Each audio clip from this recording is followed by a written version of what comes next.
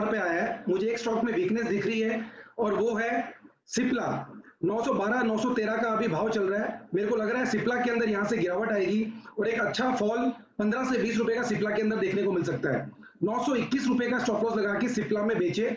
यहाँ से 10 से 15 रुपया तो इमीडिएट देखने को मिलना चाहिए, जिसके अंदर 900 रुपए से लेके 890 रुपए तक के टारगेट सिप्ला के अंदर देखने को मिल सकता है। सेल करे सिप्ला को यहाँ पे सीएमपी पे। 921 का स्टॉप लॉस 900 रुपया और 890 रुपया ये दो टारगेट सिप्ला के एक से दो दिनों के अंदर देखने को मिलना चाहिए। एम एम फोर्जिंग्स लिमिटेड एक बेहतरीन क्वालिटी कंपनी और पिछले डेढ़ साल में मैंने स्टॉक को रेकमेंड नहीं किया बट जब हमारी पुरानी पारी थी अनिल जी वहाँ पे मैंने इस स्टॉक को रेकमेंड भी किया और ये मल्टी बैगर भी था काफ़ी नीचे के लेवल्स पे रेकमेंड किया और बहुत ऊपर तक गया था। और अब ये पिछले देखिए कमर्शियल व्हीकल्स और पैसेंजर व्हीकल्स और जनरली ऑटो इंसुलरी स्टॉक्स पिछले आ, कुछ सालों में बहुत अच्छा परफॉर्म नहीं किए थे बट लास्ट चार से पाँच क्वार्टर इस कंपनी के एक्स्ट्रॉर्डनरी अच्छे गए हैं, बहुत बढ़िया ग्रोथ कंपनी ने दिखाई है। तो उसकी वजह से मैंने अभी स्टॉक को लिया और ऊपर के लेवल से जब कोई स्टॉक करेक्ट हो जाए 970 के लेवल से आप 700 सवा सात के लेवल्स पे कोई स्टॉक आ जाता है, साढ़े सात तक के लेवल्स तक तो मुझे लगता है कि एक अच्छा लेवल है जहाँ पे एंट्री करनी चाहिए उसका 200 डेमा भी एग्जैक्टली 700 के लगभग है तो वहाँ पे एक अच्छा सपोर्ट और वहाँ से धीरे धीरे ये बाउंस भी करने लगा। और मुझे ऐसा लगता है, देखिए, एक तो सीवी सीवी की जो सिक्लिकल रिकवरी है, वो एक ग्रोथ ला सकती है।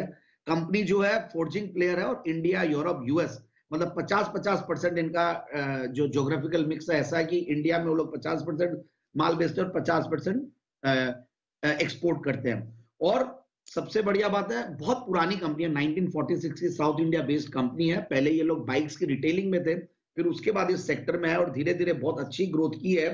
और अच्छी कैपेसिटीज बिल्ड की और अक्टूबर 21 में मतलब 2021 वाले अक्टूबर में एक इन्होंने छोटी कंपनी है दो बट एक स्ट्रेटेजिक था इनके लिए ट्रैक्टर के पार्ट्स के लिए, और कैफोमा ऑटो पार्ट्स बोल के एक कंपनी उसको इन्होंने टेक ओवर भी किया।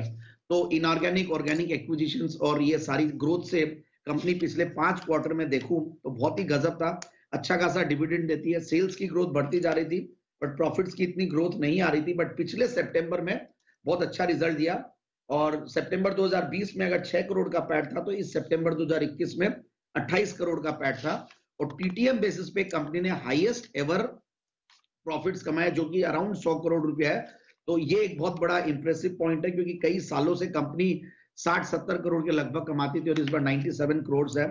फिर मैं देख रहा था शेयर होल्डिंग पैटर्न में जो चेंजेस है दिसंबर क्वार्टर के जो शेयर होल्डिंग पैटर्न आए हैं, उसमें एक बहुत ही बढ़िया बात जो दिखी मुझे देखिए, इसमें डीआईआई का भरोसा गजब ही है। सारे बड़े डीआईआई इसमें इन्वेस्टेड है। जैसे कि कल मैंने एक स्टॉक बताया था टेक्नो इलेक्ट्रिक वहाँ पे भी डीआईआई का इतना बड़ा होल्डिंग था तो उससे कॉन्फिडेंस आता है।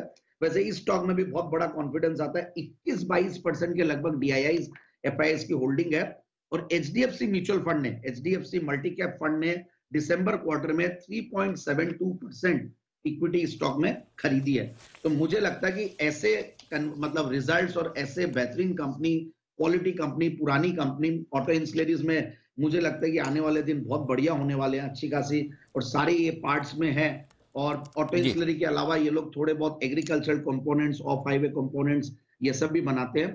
तो मेरे हिसाब से स्टॉक को इन लेवल्स पे लेना चाहिए और 850 870 के टारगेट्स